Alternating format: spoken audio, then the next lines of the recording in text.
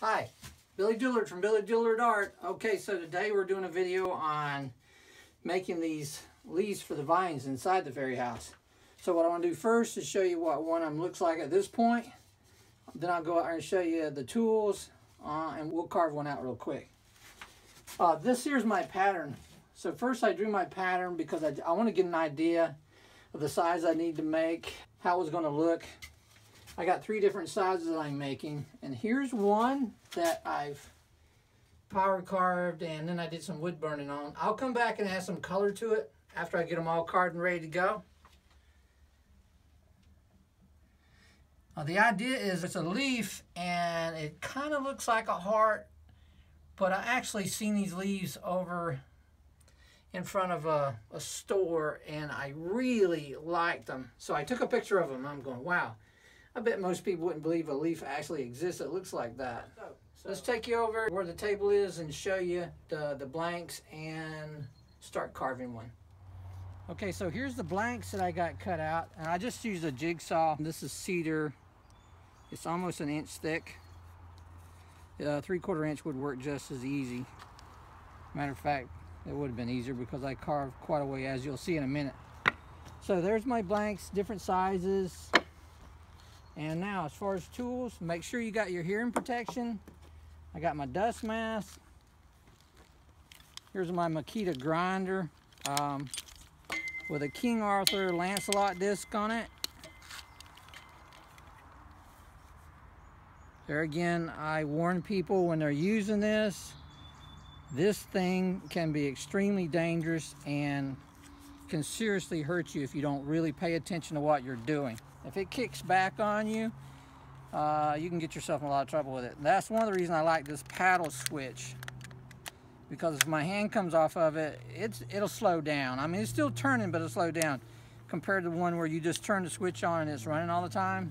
I prefer this one much more. That's just my own personal preference. And this here's a welder's clamp. And I, I use that because it doesn't have a really wide pad here. So when I clamp the material down to my work table there, I can get around it pretty good. So that's what I use. Um, make sure you got the safety glasses. Okay, let's clamp one in there and get to carving. Okay, now as far as clamping it, I, need to clamp it where it's going to stay in place, but I don't want to clamp it so hard I'm really putting a big dent. This cedar is pretty soft. So I need it to hold itself firm. It'll put a little indent. I mean, you could put a little shim underneath your clamp here, and that way you won't get a dent in it. But I don't worry about that because after I would burn it, you, you're not even going to notice it.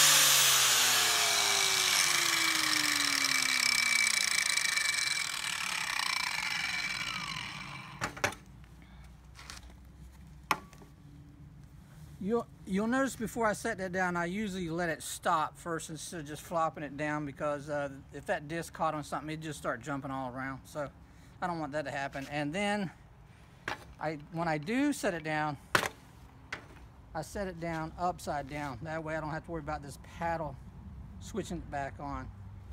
Okay, so, and you can see basically once you do a few of these, um, shape them, you'll start getting it figured out as far as what you shape them. But I just try to make sure I, when I'm carving, I carve everything in the round. And I just gradually take it down until I get what I want. Now right here, this little line here, I can turn it around and knock that little bit of edge off if I want to. But when I'm wood burning that, I can take care of that then if I want. Just depends on how particular you wish to be. But just to show you that real quick, I'll go ahead and turn it around and knock this edge down just a little bit.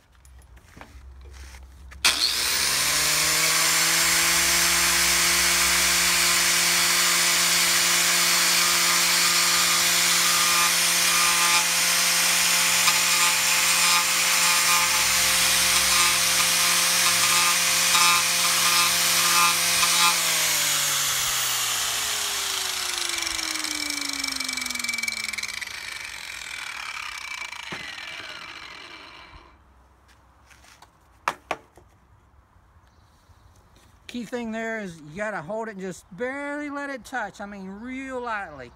And that way you can kind of skim it because if you just set it on there, it'll just start chewing away. So it just takes a really light touch. Okay, now the back side. This is kind of fun. There again, this is one of those deals where you got to be really careful because I'm going to be scalloping this out. And then I'm just guessing when I'm scalloping as far as how much I can scallop. And then I, I have to be really careful when I get close to the edge, otherwise I'll just take the edges off, and I don't want to do that.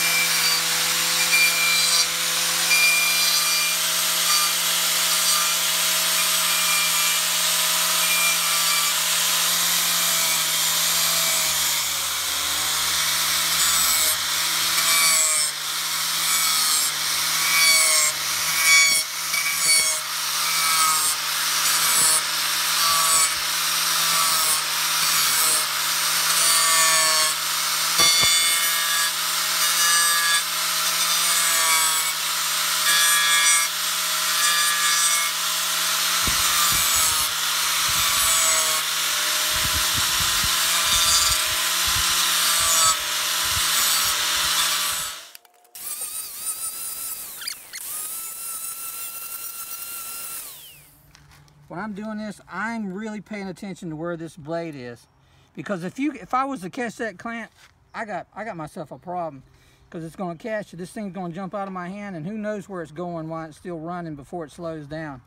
So I have to really pay attention to where this is at all times.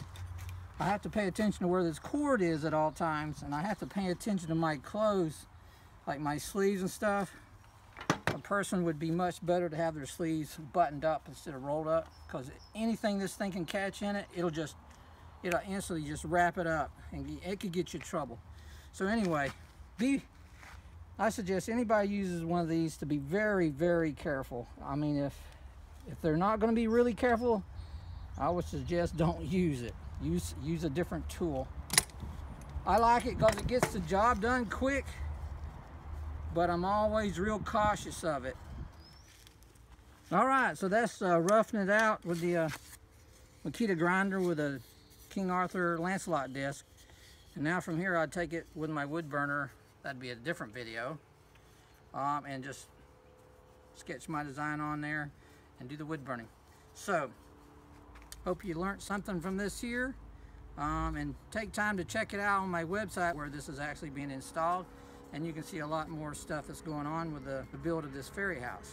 Subscribe, and if you have any comments or questions or something I can help you with, let me know. All right, thanks a lot. Later.